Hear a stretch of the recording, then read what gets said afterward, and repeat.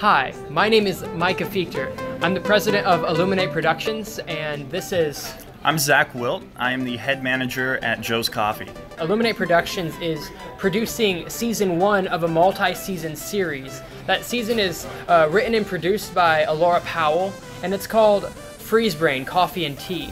Basically, this uh, series is a science fiction series through time and space, and what we wanted to do was we wanted to provide an opportunity for the student body, who's our primary listeners, and let them try something from Joe's that's actually a part of the freeze brain world that is being created.